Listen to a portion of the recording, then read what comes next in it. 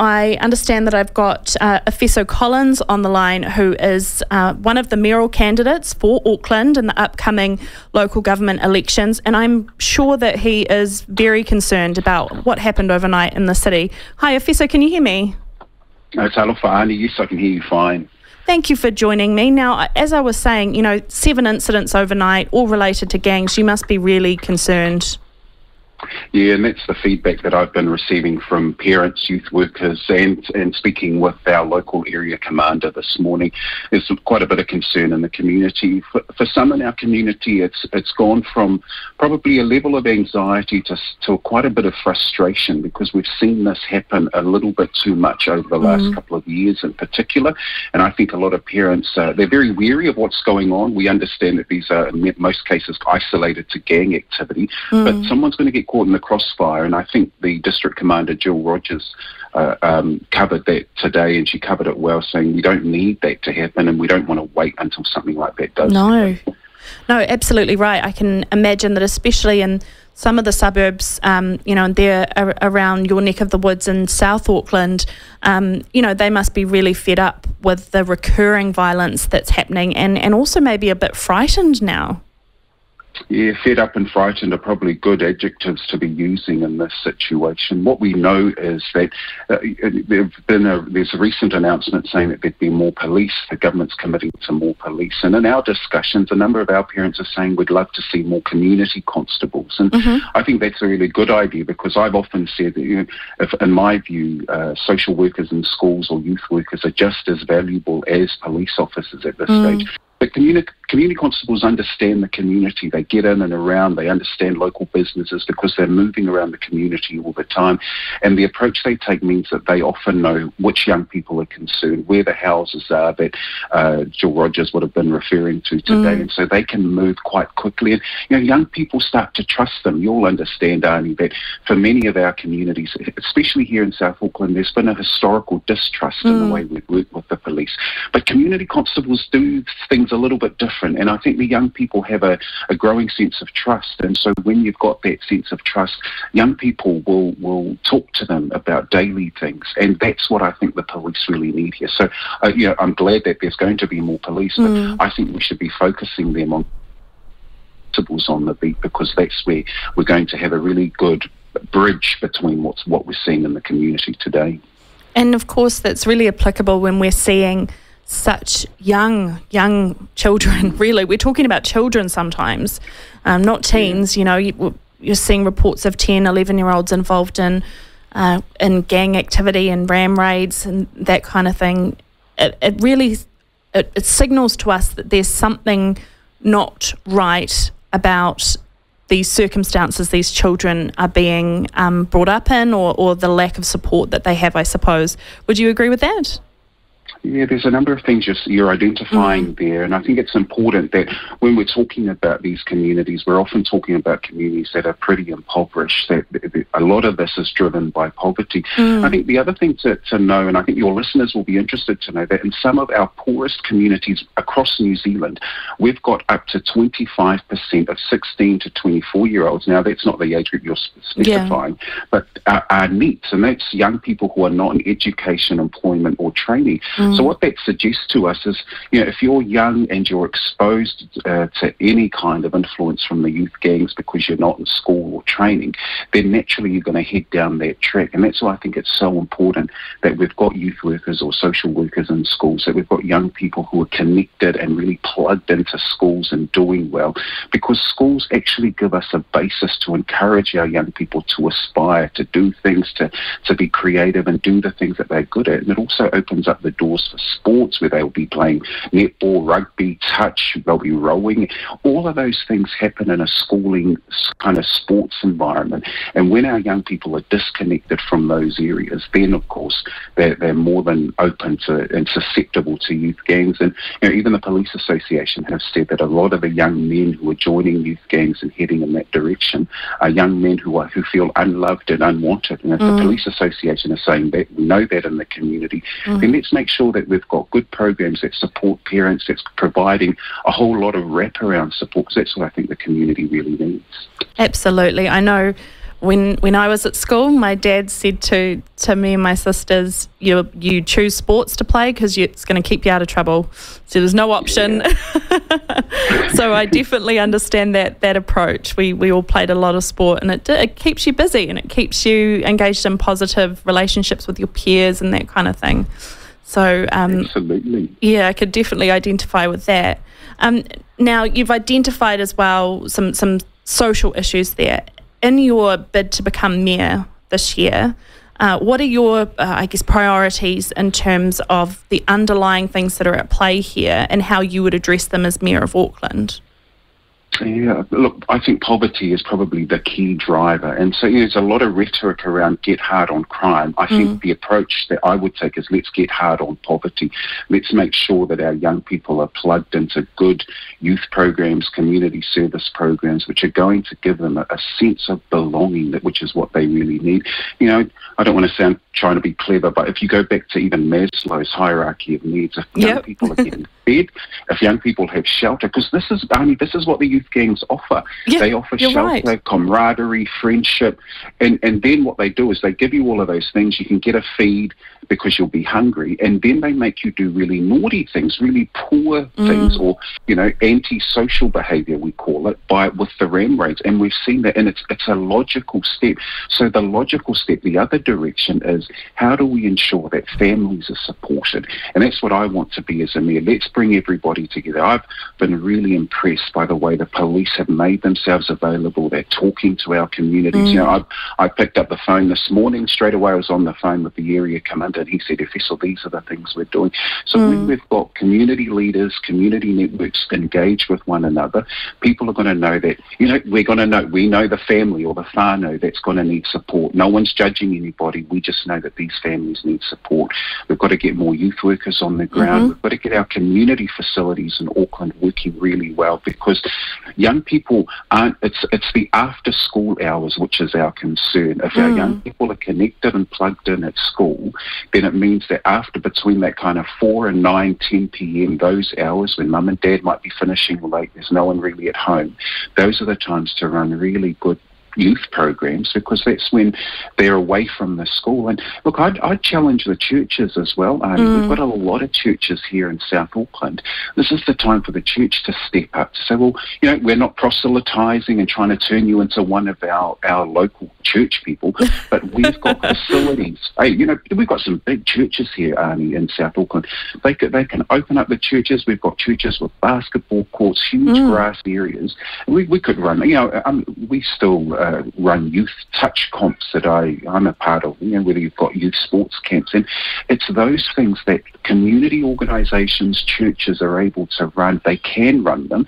And I think I want to challenge community organisations and especially churches to really get involved and say, let's work together, whether it's with council, with the police or local organisations, let's make these facilities available because we want our young people to feel safe. And it's not hard. You know, mm. I, we, we used to just buy the, you know, the dollar or the $2 roll of bread, grab some butter and, and jam or peanut butter. You know, the kids love the toast, and it's not expensive for them to have toast with us, you know, or Milo. Yeah. And then they'll go home, maybe have something a bit bigger for dinner. But, you know, these programs are not going to cost us thousands of dollars. What they will cost us is a bit of time, commitment, and energy. And I think most of our community are up for that. Yeah, on a, on a bit of a philosophical level, I guess I I really identify with uh, what you've said there about utilising churches. Um, as you say, uh, particularly in South Auckland, there are lots of churches, and um, you know, without um, having a, a, religious discussion about the, the merits or, or um, uh, I guess, downfalls of religion, the social role that churches have played um, over history uh, is something that when perhaps people were less inclined to engage with religion, they then missed out on all of those social um, aspects that the church provided, like having a space for um, the youth to congregate after school and play basketball, or whatever, like you said. So, how do you get people? How do you get the churches to um, extend that social um, role and say to all these children, "You're welcome here," when there might be a, re- a, reluctance around the religious aspect, for example. Yeah. Yeah, look, I, have been working with a number of churches. You know, my, some people might know that my, my father was a, a church minister mm. himself, and so I've, I've got a, an AOG background because Dad was involved with the Pentecostal movement. Mm-hmm. But I've been working with really good, you know, traditional churches, the Presbyterians, the Methodists, Equippers are here in Manukau. Mm-hmm. Um, they've got and all of them are open and they're saying, yeah, bring us along. And so what all this is is coordinating. We're reaching out to the churches. They are more than happy and they've been reassuring me. They said, if you don't worry, we're not going to preach to anyone. We yeah. just want to provide a safe environment. And, you know, you pull out the basketball, um, yeah, out comes the competitive nature. I don't know what you were like at sport, Ani, but I was one of the worst. Yeah, I tell you. And, you know, if if I was, you know, you almost have the right. It's I don't know. There's almost like a legal right to accidentally bowl someone over in basketball or or touch or something. And you know, oh, sorry, it was touch. I didn't mean to tackle you. But you know, I say that in jest. But what that does is it actually lets off a bit of steam. And it does. When yeah. we're when hey, when we're running around, the science is clear. It says when we're running around, when we've got the the heart rate up and we're mm. sweating, it actually does good things for our brain. It, our brain. It makes us feel really good about ourselves. And and that's all we're asking of the churches. We've got some great churches out here who are doing all those mm. things. And this is now about making sure that people know about these programs, that we're connecting with schools and saying, hey, if some of these young people are going home to empty houses because mum and dad don't get home till six o'clock, mm. why not send them along to your local equippers just down there, down, down the road near Denny's and Manukau, mm. and they can hang out there they'll be safe. You know, we'll sign them in. We'll make sure that everyone who's running the youth program has, you know, full youth qualifications so that, you know, so it's all people, our parents can trust the mm. program. And then they'll be there, and you, you know, toast isn't. It's, it's not a. That's not a four course meal or anything. but it's. Hey, we can. It, it just means that all we're really asking the church for is, is for facilities, and council can do the same thing. When we do yeah. it here, We've got our community, our gym next door. We've got mm-hmm. um, swimming programs, and so you know that if the young people come along, go to the gym, do some exercising, and actually it's a chance for mentors. You know, there's programs like Project mm. K, and and where you've got uh, older brother, older sister who come in and they say, hey, look, I'll spend an hour with these young people because I know there's a lot of people. I was going to say our age, Ani, but I think I'm a whole lot older than I'm 31, but, so I feel I feel oh, okay, like yes. I'm in the older age group now. well, well, let's just say, and, in, in, the 31 plus category, there's a lot of there's a lot of us professionals who are saying, look, I, I can spare an hour after mm. work. You know, I could finish work at four o'clock and come and hang out with the youth program, and you know, the young people love it. We we, we put a, a basketball team together and they absolutely wasted us. You know, we're all the oldies who thought you know, back in the day where we could dunk. But what it does is it gives the young people a, a real way to channel that energy, whether it's negative or positive energy. They're mm. channeling it because they want to beat the older people at basketball. They're channeling that energy when you're talking to them and saying, hey, this is what it's like to host a radio program. Yeah. I can talk to young people about this is what it's like to be a counsellor at Auckland mm. Council.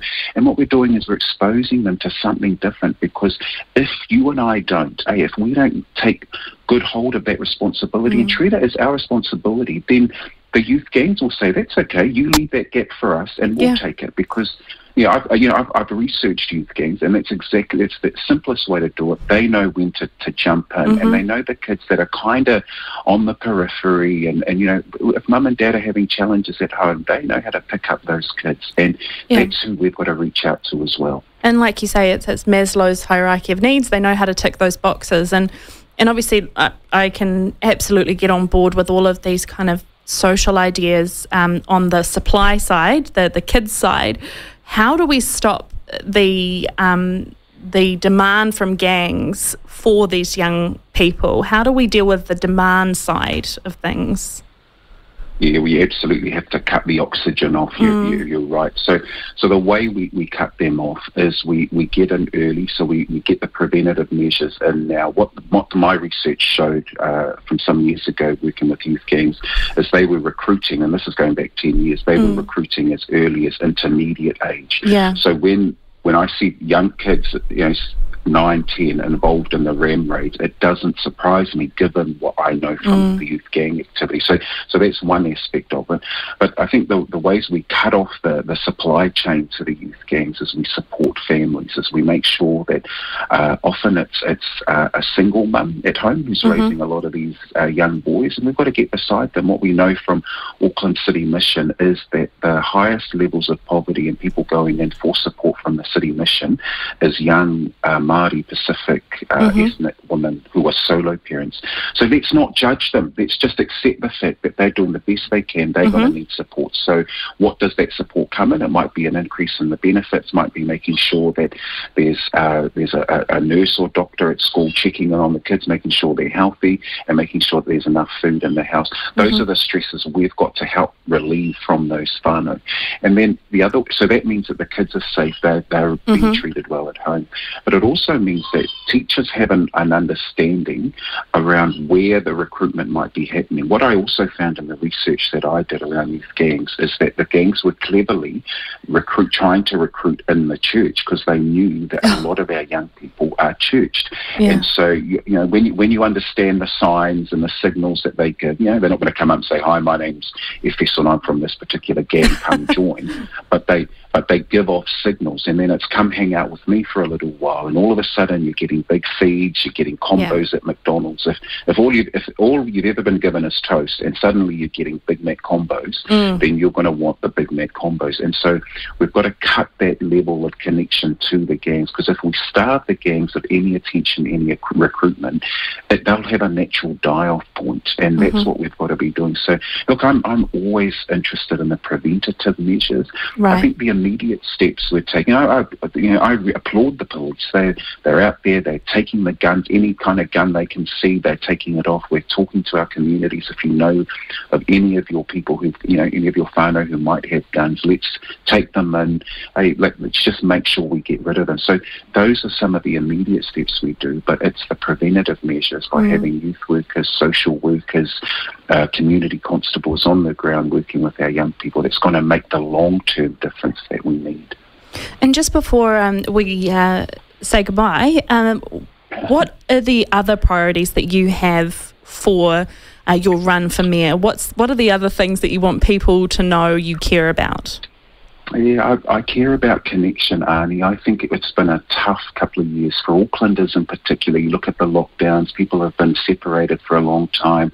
We've got businesses that have closed or have struggled. Mm. We've got people who've lost jobs over that time. And I think Aucklanders are keen to reconnect. And you know, we've moved to a hybrid model of work. So how does what does that mean for our localities? Do we how are we shopping local? We might still be home one or two days a week. So reconnection is really key for me. How do we re engage with one another? How do we interact again? I think social interaction is, is key. Mm. And I want to be a, a, a, my, my hope is to be a vision, sorry, is to be a mayor who's got the vision to bring people together. And that's not just people locally, mm. that's bringing people back in from overseas because I think we've got a tourist uh, economy that we really want to give some energy to. Absolutely. And that's going to happen as more and more people are coming in. And, you know, we're seeing uh, the borders are opening and it's important that people have, the, have a strong feeling that Auckland is an attractive place to come come to. Mm. I think the other thing I want to be, be sure of is that we've got good infrastructure. So one of the things I've been talking about, the first thing I said was I would like to see fare, free public transport. Mm-hmm. And that means, you know, the Helen Clark Foundation said that for, for poorer families, up to 30% of their income goes towards transport. So if oh, we wow. can relieve them, yeah, and it's a lot of money. So yeah. if we can relieve families of that transport cost, let's get them on the bus, the train, straight away so they can get to where they, they need to be. And, and I understand you practice what you preach in this regard. You you catch the bus yourself. yeah, yeah. Look, look, I'll be honest. There's there's the odd day where I've got to use the car, but wherever possible, mm-hmm. I'm I'm definitely most days of the week I can just catch the train. My challenge at the moment, Ani, is when I'm trying to get from a, a meeting in Manurewa and then yeah. I have to go to Greenhithe. It's a bit hard to say I'll be there in less than an hour when it would take me much longer. But hey, but, you're understanding the struggles that, that everyone in Auckland, yeah, I, I know. yeah. So, so I think you look fare free public transport, getting people around, but we've got to make sure we've got frequency. You know, it's much easier in your life when you turn up to the bus stop and then five minutes later you think, oh, mm. the bus is here. You know what I mean? And it should be that natural that we should just get to the bus stop. We know that a, a bus is coming in the next ten or fifteen minutes, yeah. but that also means we've got to stretch the network. We've got to get to the parts of Auckland that don't have good public transport services. Yeah. So, look, I think those are just some of the things that we're working on. But I'm really keen to see us working well together. I think mm-hmm. for too long there's, yes, I, I think there's been a real wealthy poorer divide in Auckland. I think we can do things together, and you know, I, I, this is an opportunity for all of us to say, COVID has affected us in multiple ways. How do we start over? What's the new normal? And I want to lead that discussion because I think Auckland's a beautiful place. We can be proud of it, and we want to celebrate. You know, we used to mm. joke around, you know, JAFAs. I think, yeah, just another fabulous Aucklander, and we'd like to warmly it. welcome everyone here. Yeah, yeah. So I'm, I love this city. They've given me so much, and I've got two young daughters, and yeah. we're Aucklanders. Yeah, sure, we're, we're of Samoan heritage, mm. but this is our home, and I want this to be special for them. And we've got some climate change issues we really need mm-hmm. to address. Let's get out of our cars. Let's catch the bus. Let's catch, you know, walk, walk, as much as we can and cycle. I think there's good things ahead of us. Awesome. And I love that. Just another fabulous Aucklander because I've only been in Wellington for three years and I, I get very homesick at times and I tell oh. everyone how much better Auckland is. keep going. Keep yeah. Doing it, so you don't get any disagreement from me there. Well, thank you so much for, for joining me. It's been a really interesting chat and I hope that we'll hopefully get you back at some point as you continue your, your bid for um, becoming the Auckland Mayor. So thank you, Efeso. Oh, kia ora, and go well. Right. Thanks.